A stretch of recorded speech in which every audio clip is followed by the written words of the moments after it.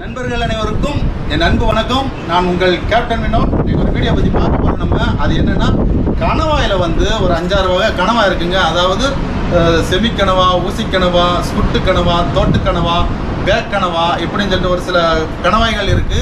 அதில் நம்ம இப்போ பார்க்கக்கூடியது வந்து அந்த செமி கணவாயை பற்றி தான் பார்க்க போகிறோம் அதுவும் குறிப்பாக ஒரே பாடு வலையில வந்து எங்களுக்கு ஒரு லட்சத்தி இருபதனாயிரம் ரூபாய் மதிப்புள்ள கனவா எங்களுக்கு கிடைச்சது தான். இந்த வீடியோ நீங்க பார்க்க போறீங்க. வீடியோ ஸ்கிப் பண்ணாம முழுசா பாருங்க. வாங்க வீடியோக்குள்ள போகலாம்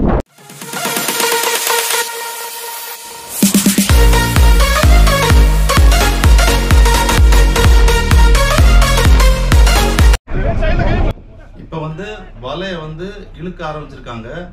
இந்த வலை வந்து மூவாயிரம் பன்னிரெண்டாயிரம் வலை தான் இப்போ நாங்கள் இப்போ அவர் வந்து கையை காட்டுறாரு. எதுக்காக கையை காட்டுறாருன்னா இந்த வலை வாங்கும்போது நான் அதாவது கேபிள்ல இருந்து நான் வந்து ரிவர்ஸ்ல வந்துகிட்டு இருப்பேன். அந்த ரிவர்ஸ்ல வரும்போது பின்னாடி இருக்கக்கூடிய ஃபேன்ல வந்து இந்த வலை சுத்திரக்கூடாது. அது பக்கத்துல வந்த உடனே அந்த ஃபேன் பக்கத்துல இந்த வலை வந்த உடனே என்ன செய்வாங்கன்னா நியூட்ரு பண்ணுங்க வர வராதீங்க அப்படின்னு சொல்லுவாங்க. அதே மீறி நான் வந்தோம்னா இந்த ஃபேன்ல வந்து இந்த வலை சுத்திக்கிறோம் அப்படி சுத்தும் போது என்ன ஆகும் அப்படின்னு பாத்தீங்கன்னா இன்ஜின் ஆஃப் ஆயிரும். அப்ப நாங்க கடல்ல இறங்கி தண்ணிக்குள்ள முங்கி அந்த கைய அந்த வலையை வந்து வெட்டினா தான் எங்க போட் வந்து ஓட முடியும். சுத்திரும் அப்படின்னு சொல்லிட்டு கையை காட்டினாரு. ஒரு கணவாயும் பாஞ்சு வந்து இப்ப நாங்க வந்து தொழில் செஞ்ச இடம் வந்து ரொம்ப ஆழமான பகுதி ஒண்ணும் கிடையாது. அதாவது மீடியமான பகுதி. ஒரு 45 மீட்டர்ல தான் நாங்க வந்து இன்னைக்கு வந்து இந்த கணவாய்க்கு வந்து இழுத்துட்டு போனோம்.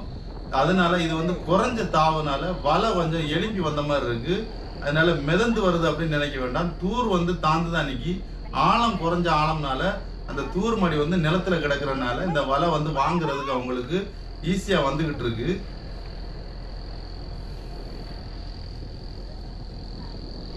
வலையும் பார்த்தீங்கன்னா புதிய வலை. அதாவது இன்னைக்கு தான் நாங்கள் வந்து இந்த வலையை வந்து தண்ணிக்குள்ள இறக்கியிருக்கோம் இந்த பாடு. அதனால வலை வந்து ரொம்ப புத்தம் புதுசாக வந்துகிட்டு இருக்கு இந்த வலை வந்து. இப்போ ஆஞ்ச கண்ணி வலை போய் அடங்கின கண்ணி அதாவது சின்ன கண்ணி வலை வந்துருச்சு. இப்போ பார்த்தீங்கன்னா தெரியும் அந்த வலை வந்து கொஞ்சம் நேர கீழே வந்துகிட்டு இருக்கு. உதறியான்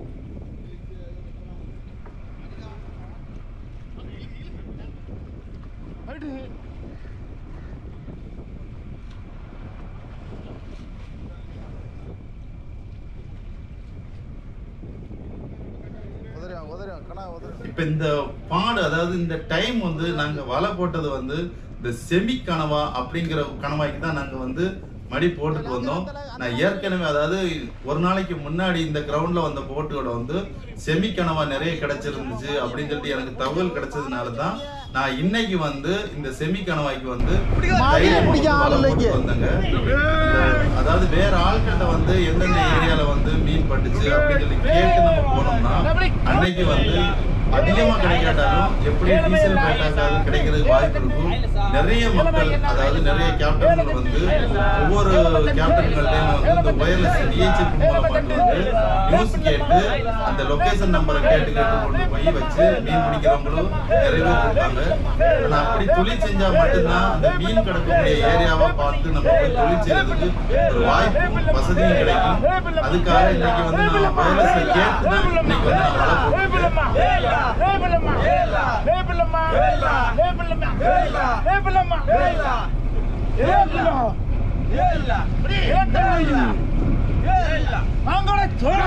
வந்து தூர்மடி கிட்டால வந்துட்டு இன்னும் என்ன செய்வாங்கன்னா ஆசா கயிறை வச்சு கெட்டி தான் இதை இன்னும் மேல தூக்குவோம்.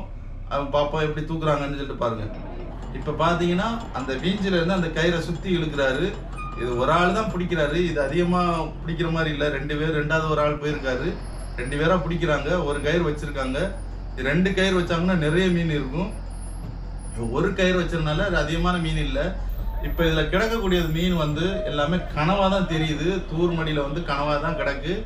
எப்படி கனவா கிடக்கு அப்படின்னு சொல்றீங்கன்னு பார்த்தீங்கன்னா அந்த தூரில் வந்து அரிஞ்ச அந்த கனவாயினுடைய கால்கள் வந்து அந்த கண்ணிக்கு வெளியில் வெளியில் தெரியுது.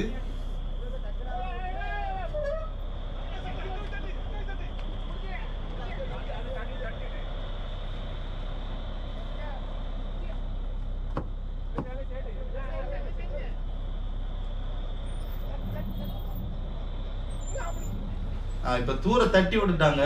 ஆனால் இந்த கனவா இப்போ நீங்கள் பார்க்கக்கூடிய கனவை வந்து இந்த கரை ஏறின கணவாயினால இந்த கணவாய்க்கு கொஞ்சம் விலை அதிகங்க.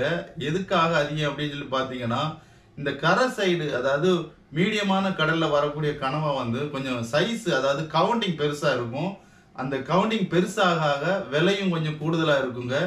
இப்போ இதில் கிடக்கக்கூடியது வந்து ஃபஸ்ட்டு செகண்டு தேர்டு அப்படி எல்லாம் மிக்ஸ் ஆகி தான் கிடக்கு. இன்னும் இவங்க வந்து என்ன செய்வாங்கன்னா தனித்தனியாக பறப்பாங்க இவங்க எப்படி இப்போ பிறக்கிட்டு இருக்காங்கன்னு பார்த்தீங்கன்னா எல்லா கணவாயுமே வந்து மொத்தமாக வந்து கூடையில் வந்து போடுறாங்க.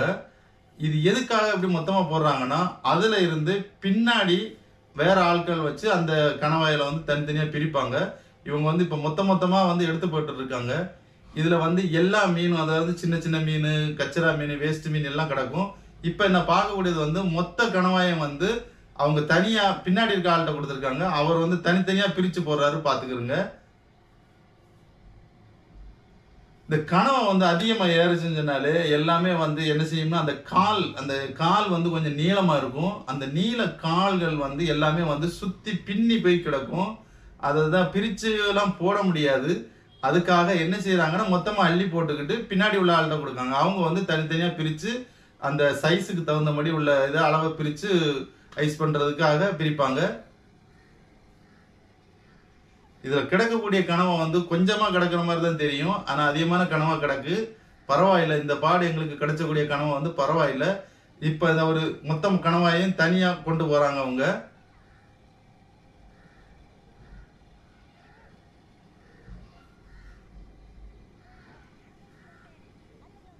இவங்க வந்து அந்த கணவாயை வந்து எப்படி அவங்க வந்து எடுக்கிறாங்க அப்படின்னு பார்த்தீங்கன்னா அதில் கிடக்கக்கூடிய மீன்களை வந்து தனியாக ஒதுக்கி விட்டுக்கிட்டு இந்த கணவாயை மட்டும் தனியாக எடுத்து கூடையில் அள்ளி போட்டுக்கிட்டு இருக்காங்க இவங்க. இப்போ நாங்கள் வந்து இந்த கூடையில் தான் விற்போம். இந்த அதுக்காக தான் இங்கே கூடை கணக்கில் வச்சு தான் எல்லாமே பிறக்கிறது. இந்த கூடை கணக்குன்னு சொல்லும்போது தான் எங்களுக்கு அளவு தெரியும். இன்னைக்கு இந்த டைம் வந்து இத்தனை கூடை கிடச்சிருக்கு அப்படின்னு சொல்லிட்டு அளவு தெரியும். அதுக்காக தான் கூடையில் கூடையில் பிறக்குறாங்க. நீங்கள் பார்க்கும்போது தெரியும் அவங்க மொத்தமாக கையால் அள்ளி அள்ளி எல்லா கணவையும் பிரிக்காமலே போட்டுட்டு இருக்காங்க இனி இந்த கணவாயை தான் அவங்க பின்னாடி வந்து பிரிக்க போறாங்க இவங்க. அந்த வேஸ்ட் மீனை பார்த்தீங்கன்னா தெரியும் அந்த கூடைக்கு அதாவது வலது பக்கமா அந்த சைடில் இருக்கக்கூடியது. இப்போ ஒரு நண்பர் வந்து ஒரு பெரிய கணவாயை பிடிச்சிருக்காரு. இவர் என்ன பண்ண போறான்னு பார்ப்போம். அவர் அந்த கனவை வந்து ஓடுற மாதிரி வீடியோக்கு போஸ்ட் கொடுத்துட்டு இருக்காரு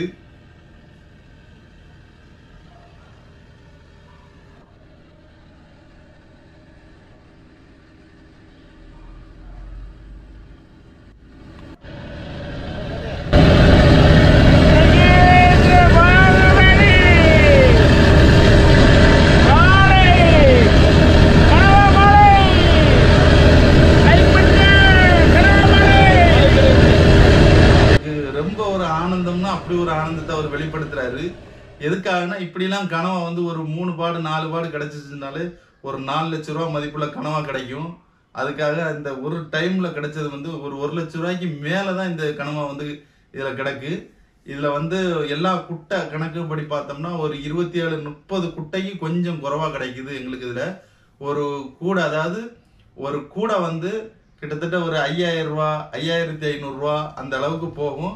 ஆனால் இதில் கிடக்கிறது வந்து ஒரு ஒன்று இருபது ஒரு லட்சத்தி இருபதனாயிரம் ரூபா மதிப்புக்கு இதில் கிடக்கும் அப்படின்னு சொல்லிட்டு எங்கள் ஒரு கணக்கில் குத்து மதிப்பாக தான் சொல்கிறோம் இன்னும் நம்ம இதை கரையை போய் விற்று பார்த்தா தான் தெரியும்.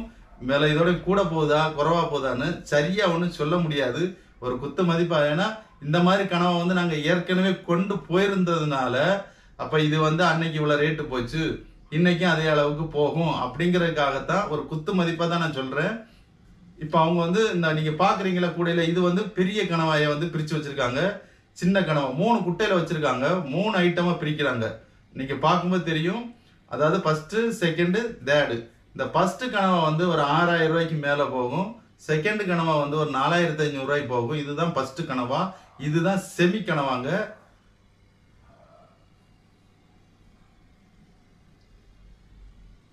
இப்போ நீங்கள் பார்க்குறது வந்து செகண்டு கனவாயை பார்க்குறீங்க.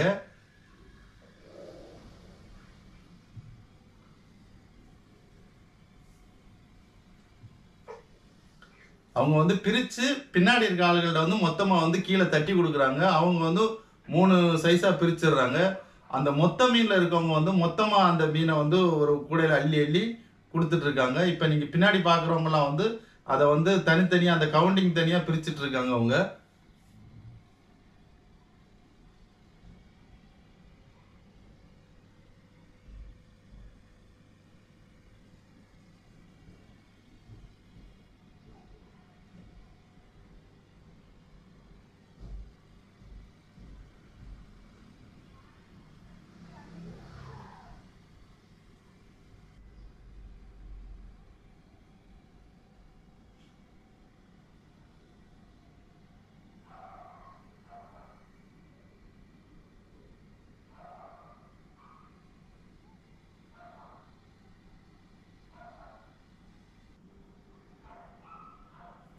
அவங்க வந்து எப்படி தட்டுட்டு இருக்காங்க அந்த கணவாய் எப்படி உழுது அப்படின்னு பார்த்தீங்க இதில் ஒரு முக்கியமான ஒரு விஷயம் இருக்குது என்னென்னா இந்த கணவாயில் இருக்கக்கூடிய தண்ணி வந்து அவங்க பிறக்கும்போது அந்த கையிலெல்லாம் படுங்க. இது கையிலெல்லாம் படும்போது அந்த வெடிப்பு மாதிரி வரும் அந்த அலர்ஜி மாதிரி வரும் இந்த தண்ணிக்கு வந்து. இது நிறைய பேருக்கு ஆயிருக்கு இப்படி. ஆனால் அந்த வீடியோ பார்க்குறவங்க இந்த மாதிரி கனவா பிடிச்சி தொழில் செஞ்சு அந்த கனவா ப தண்ணி பட்டு கையெல்லாம் வெடித்து பொத்து போன மாதிரி உங்களுக்கு ஒரு அனுபவம் இருந்துச்சுன்னா எனக்கு மறக்காம கமெண்ட் பாக்ஸ்ல சொல்லுங்க. இந்த தண்ணி வந்து கையில எல்லாம் படும்போது அதிகமான கணவாயை பிறக்கி பிறக்கி பிறக்கி பிறக்கி அது வந்து அது படும்போதெல்லாம் ஒண்ணுமே செய்யாது காந்தாது எதுவுமே செய்யாது. ஆனா அந்த தண்ணியினுடைய எஃபெக்ட்டுக்கு வந்து நம்ம விரல்களுக்கு இடையில இருக்கக்கூடிய அந்த ரேக லைன்ல எல்லாம் வந்து ஒரு மாதிரி வெடிப்பு வர ஆரம்பிக்கும். வீடியோ பார்த்தீங்களா? எவ்வளோ கனவா கிடைச்சிச்சு அப்படிங்கிற ஒரு அருமையான ஒரு காட்சியை நீங்கள் பார்த்துருப்பீங்க ரசிச்சிருப்பீங்க. நான் மேலும் இது மாதிரியான வீடியோக்கள் போடுறதுக்கு தயார் நிலையில் இருக்கிறேன். எனக்கு சப்போர்ட் பண்ணுங்கள் கேப்டன் இனோ சேனலை சப்ஸ்கிரைப் பண்ணாதவங்க கட்டாயம் சப்ஸ்கிரைப் பண்ணுங்கள் இந்த வீடியோவை உங்கள் ஃப்ரெண்ட்ஸ்களுக்கு ஷேர் பண்ணுங்கள் உங்களிடமிருந்து விடைபெறுவது உங்கள் கேப்டன் இனோ நன்றி வணக்கம்.